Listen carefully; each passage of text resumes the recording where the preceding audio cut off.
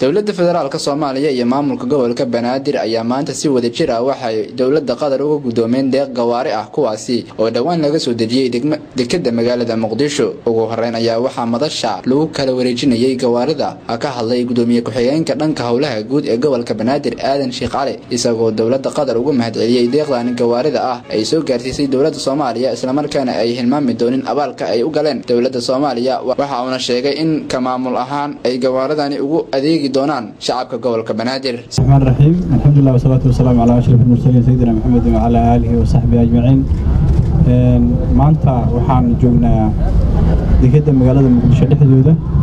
Annagoo la wareegayna gaadiid ay lagu wareejinayaan dowladda walaalaheenna ee khadar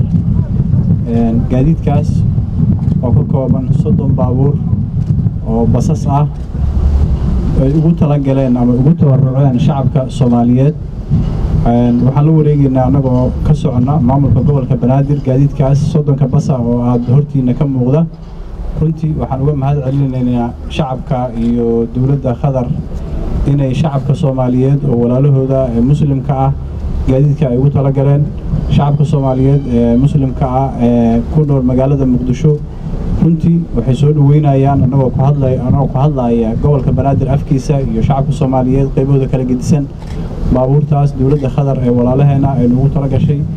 oo dowladda khadar ay ugu tala gashay shacabkooda ama dalkooda labaad ee soomaaliya. Sidoo kale waxaa isna halkaasi ka hadlay wasiir ku-xigeenka wasaaradda dekedaha iyo gaadiidka dowladda federaalk soomaaliya cismaan maxamed cabdi daalo isaga oo sheegay in dowladda qatar ay kala wareegeen gawaari gaaraysa ilaa iyo soddon gaari kuwaasi oo ah kuwa basaska loo yaqaano kana hadlay in wax lagu farxo ay tahay. In dowladda qatar ay garab taagan tahay dowladda soomaaliya dib udhiskeeda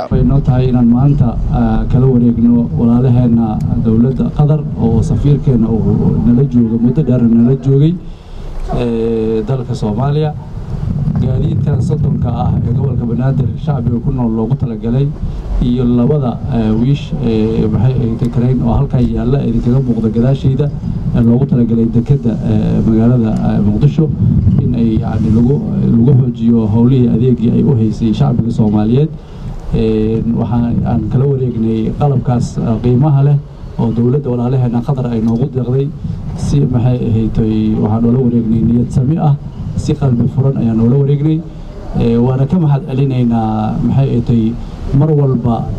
gargaarka iyo taageerada oo yani tayada leh mar walba ay nala garab taagan tahay dowladda walaalahanahay ee qatar. Si kastaba ha ahaatee dowladda qatar ayaa ka mid ah dowladaha saaxiibada dhowla ah dowladda federaalk soomaaliya islamarkaana xiriirkooda uu sii wanaagsanaanayo tan iyo markii uu bilowday khilaafkii u dhexeeyey dowladaha ku midaysan waddamada khaliijka